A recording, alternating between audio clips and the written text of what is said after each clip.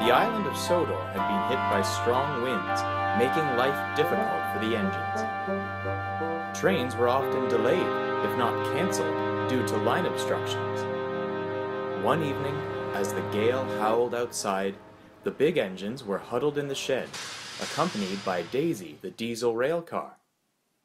The wind is so strong, she said, it ripped the crossing gates right off their posts. Poor Thomas, he was still being re-railed when I was ordered to stay here tonight. I hear his front end was damaged something awful. Poh! sniffed Gordon. Count on a small engine to be impeded by a few toothpicks. Before Daisy could reply, Henry came backing into the shed, grumbling dreadfully. The kipper's been cancelled, he fumed. Bother! I was looking forward to a nice evening run. Not you too, Henry, groaned Gordon. I'd expect this from Thomas, but we're big engines. A little wind shouldn't stop us. Fat Controller's orders, Gordon, Henry retorted. He doesn't think the vans can withstand the strength of the gusts. You're just being silly, Gordon yawned. You watch me tomorrow. I'll be right on schedule, whatever the weather. And with that, he fell asleep, leaving Henry brooding. Though still strong, the winds had lessened by morning. Gordon had just left on his first express run, but was not enjoying himself. Speed restrictions were in place, and no matter how fast he tried to go, his driver held him back. Calm down, Gordon, scolded the driver. I've already got the storms to worry about. I don't need you trying to buck me out of the cab.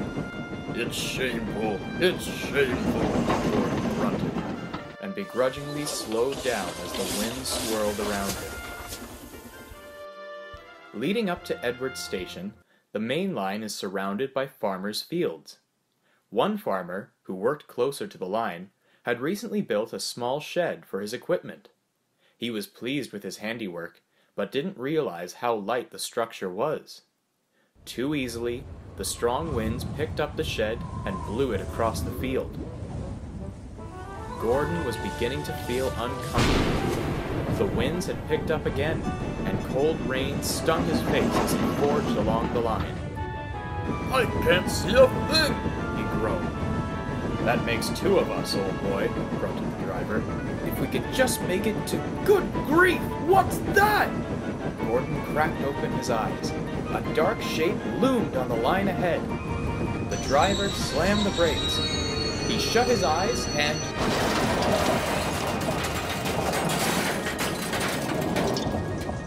The remnants of the wooden shed clung to his front end, which was feeling rather sore. When the winds died down again, James came to take the express to the end of the line. With Edward banking him up the hill, the only engines available to help Gordon were Bill and Ben. You're a sight for sore eyes, teased Ben. Bent buffers, worn brakes, that's not the make of a proper express engine.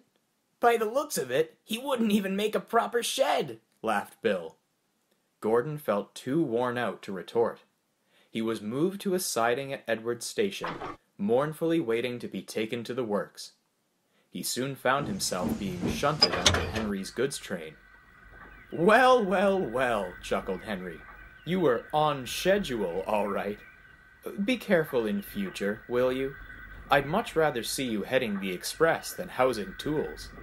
For once, Gordon felt Henry's words were worth heeding.